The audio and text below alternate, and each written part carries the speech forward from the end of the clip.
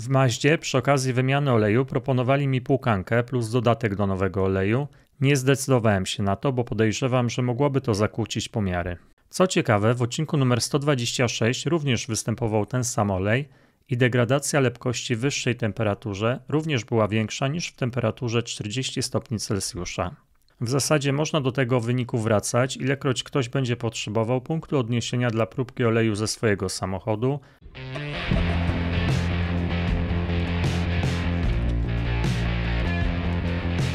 Witajcie w kolejnym odcinku na kanale R2D. Bohaterem tego odcinka będzie prezentowany samochód Mazda 3 Sky Active X, rok produkcji 2023, silnik benzynowy 2.0, 186 koni mechanicznych, przebieg 6446 km. Cel główny odcinka to sprawdzenie w jakiej kondycji jest olej, który pracował w tym samochodzie. Wyróżnikiem tego odcinka jest weryfikacja oleju w nowiutkim samochodzie z silnikiem Sky Active X. Takiego testu na kanale R2D jeszcze nie było. Inicjatorem tego eksperymentu jest Łukasz. Na ekranie prezentuje podstawowe informacje o nim, jego wiek, miejsce zamieszkania oraz preferencje dotyczące wymiany oleju silnikowego. Łukasz skierował do laboratorium R2D taką oto przesyłkę. W środku znajdują się dwie pozycje. Próbka numer 1 to olej świeży, kilka informacji na opakowaniu, reszta szczegółów za chwilę. Próbka numer 2 to olej przepracowany, kilka informacji ponownie na opakowaniu, reszta szczegółów za chwilę. Do silnika zalany został olej Mazda Supra X 0W20. Klasy jakościowej aprobaty wpisujemy do tabeli zbiorczej. Nie był stosowany żaden dodatek do oleju.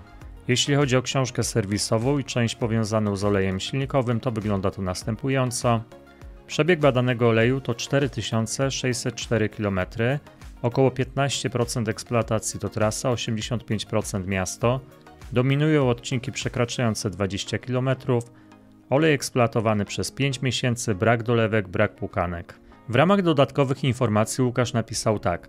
Auto ma około pół roku w tej chwili i przejechane niecałe 6000 km.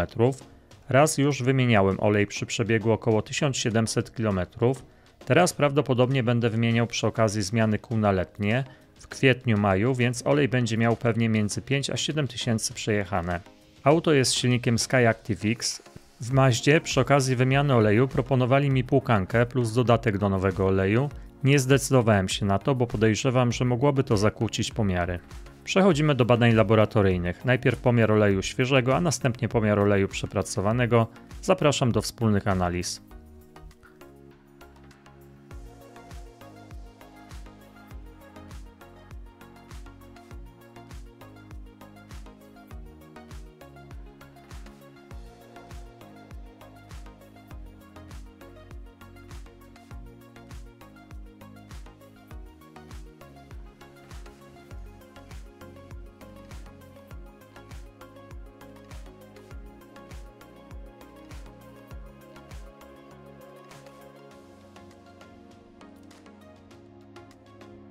Lepkość dla oleju świeżego jest następująca: 30,9 mm2 przez sekundę w temperaturze 40 stopni Celsjusza oraz 7,7 mm2 przez sekundę w temperaturze 100 stopni. Wskaźnik lepkości wynosi 237.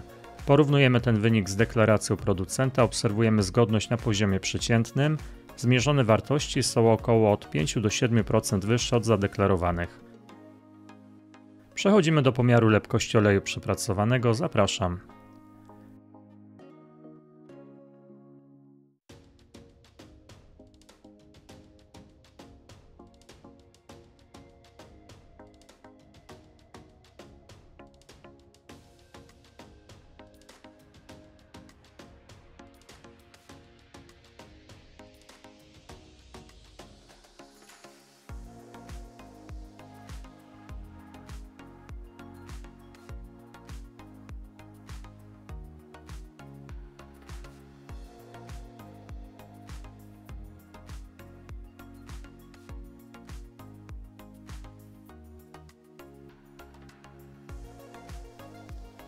Lepkość do oleju przepracowanego jest następująca: 29,7 mm2 przez sekundę w temperaturze 40 stopni oraz 7,0 mm2 przez sekundę w temperaturze 100 stopni.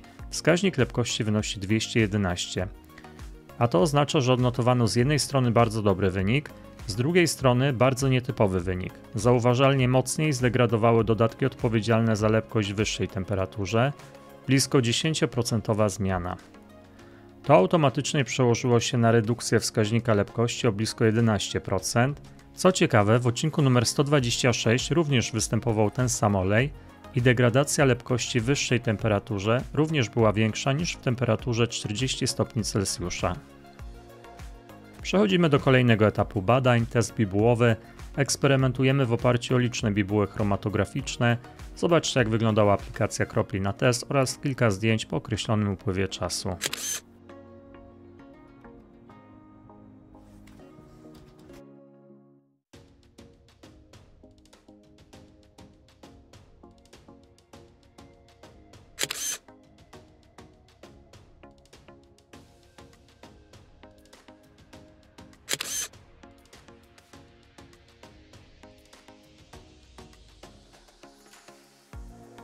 Oglądamy plamę z różnych perspektyw oraz przy wykorzystaniu dodatkowego podświetlenia.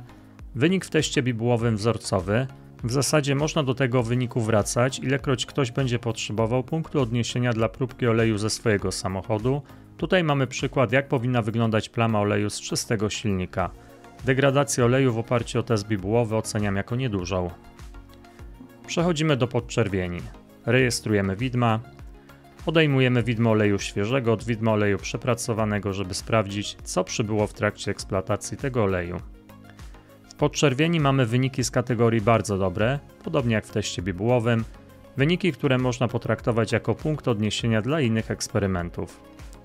W zasadzie wszystkie parametry na zielono są to przedziały akceptowalne z bezpiecznym zapasem do strefy ostrzegawczej, jedynie degradacja bazy olejowej zasługuje na mocniejszy akcent, być może enigmatyczna zmiana lepkości, o której było wcześniej, ma związek właśnie z degradacją bazy olejowej.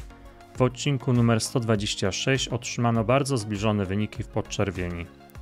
Podsumowując, otrzymano bardzo dobre wyniki w teście bibułowym oraz podczerwieni, wyniki w teście lepkościowym z kategorii zagadkowe.